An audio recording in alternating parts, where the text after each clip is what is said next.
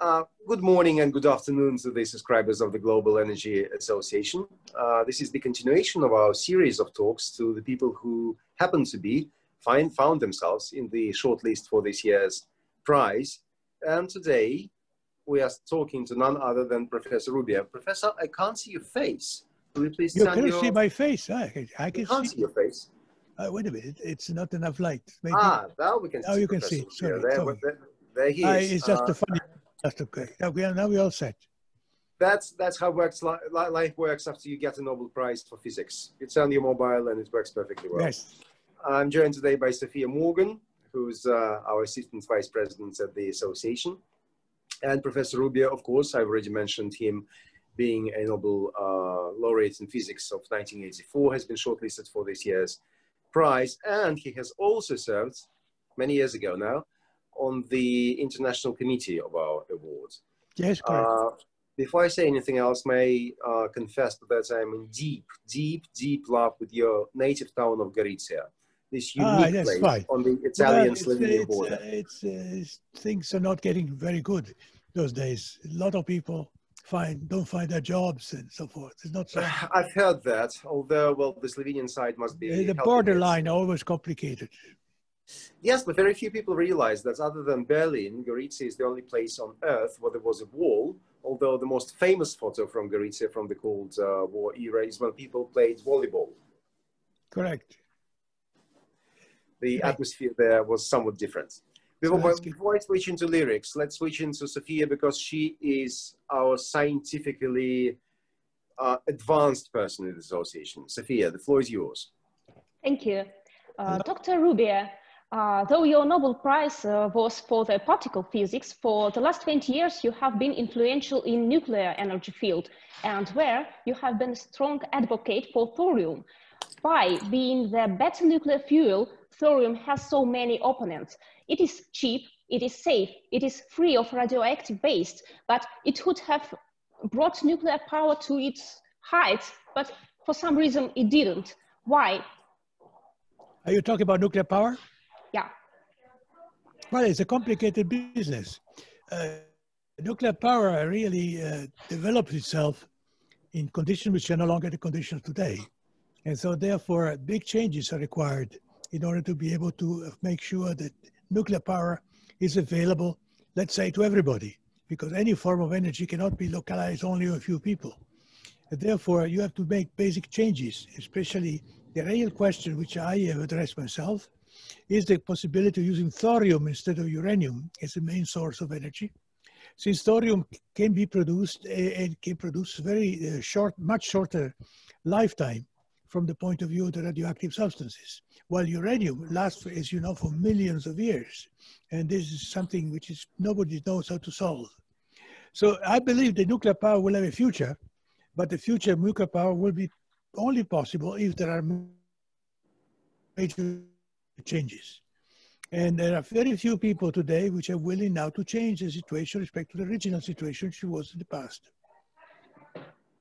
Well, however, the situation is changing, and I was reading this report, I think by Bloomberg agency just yesterday, about major oil and gas companies saying uh, that they uh, no longer are going to explore the existing oil and gas fields I think BP was mentioned among other, uh, other companies like that, because a new era of alternative uh, um, energy is, is about to emerge.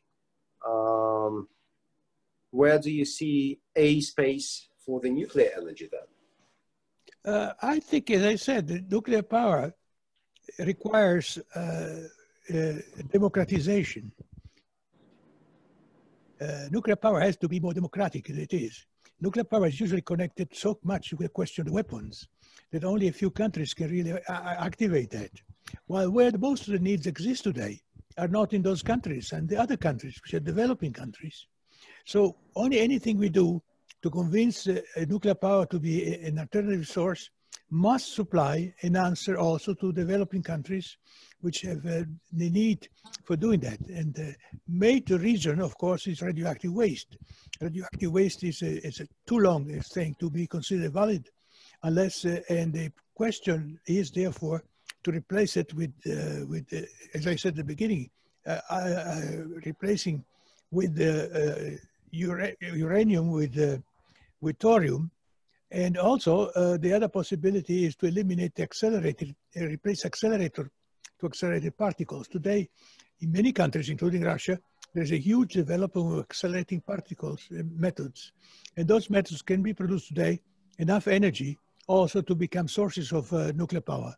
And therefore, association within the nuclear power and the accelerator uh, technology, it seems to me is a very important issue which has to be understood because accelerators are offering us the possibility to control on and off the source of energy, while nuclear power in itself is very difficult to control. If driven by an accelerator, it becomes easy. You just switch off the accelerator and the thing disappears. How do you sell the nuclear power to the developing world, as you said? Because the developing world may be rather confused. They look at Europe and they see very diverse examples. They see Russia, where 20% of electricity generation is based on nuclear energy. They look at France, where nearly 100% of, of electricity comes from uh, nuclear stations. They look at the UK, which has rediscovered nuclear uh, energy in this last several years. But they also look at Germany, which has been systematically closing coal. Well, coal, we also Japan. Japan is a country. And, and, yeah, so, so, so, you know, there are of course countries out there, China, India, Iran, for that matter, who are building nuclear nuclear plants. Egypt and Turkey are also going to build uh, nuclear stations with, with the Russian technical help, by the way. But what do you say to people who look at Germany and say we don't need it? Well, I mean, Germany, in principle, is capable of producing nuclear power whenever they want. Now they are very concerned about nuclear power.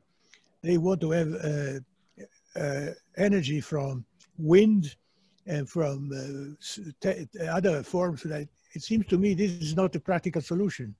It seems to me that the renewable energies are not really a practical solution for the mass use within the world. In the sense that uh, they are more expensive than other sources, uh, they are in fact very uh, difficult to operate and very and therefore it seems to me that an alternative to alternative to uh, renewable energies are a fundamental item which we have to pursue. I don't believe nuclear energy will uh, renewable energy will be able to replace the the ordinary production of energy.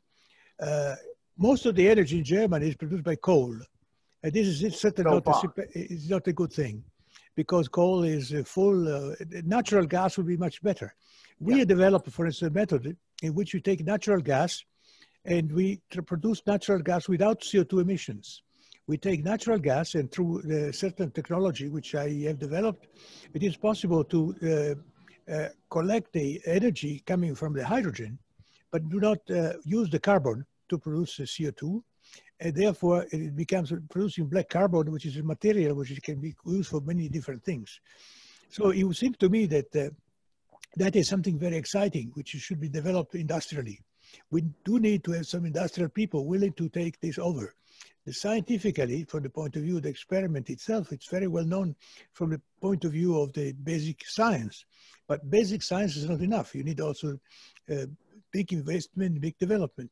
But in my view, uh, uh, natural gas with no CO2 emission, it seems to me is a very interesting alternative which is worth developing. Well, this answers my initial question about major oil and gas companies announcing in these last several days that they're not going to explore uh, the existing oil and, new, and, and, gas new fields because the new renewables are replacing uh, the sources of energy which we're used to, but they, they are deceiving yourself, you're saying. Well, it seems to me the question is that energy can come from nuclei or can come from atoms. Uh, atomic energy is, in principle, extremely valuable in the sense that it produces a huge amount of energy for very most use of uh, resources. But it's certainly something which has to be blended with the possibility of developing energy from, from uh, natural resources. As I said, there's an example of the natural gas, of which there's plenty. Natural gas that we normally use, there are many other sources of natural gas. There are natural gases, for instance, all the oceans are full of uh, yeah which are fundamentally natural gas. So we have natural gas to go for thousands of years. of very effective uh, utilization. And if we solve the problem of the carbon CO2 emissions, and we can do that without CO2 emissions, there is no reason why we don't, should not use it. We continue to develop a, a, a situation in which energy is produced abundantly and, and without, without any drawbacks. Professor Rubbia, you and I in our blue suits may be offending our good friend Sophia in her green dress today which is to underline her devotion to the renewables. So I'd rather shut up now and give floor to her, Sophia. Yeah, my... the renewables will win in the long run. Yeah, you guessed. My, my question will be right about renewables. I know that a lot of work have been done by you in this field, providing new solutions for solar thermal technologies. Uh, did you bring something from the nuclear there? I mean, this melted salt as I said at the beginning to your colleague, uh, either you have uh, uh, energy from atoms or energy from nuclei. Energy from atoms is certainly uh, in the form of natural gas. It's certainly the easiest thing to do. Natural gas has the advantage with respect to coal, which is dramatically used by almost everybody. They have no emissions. It's clean.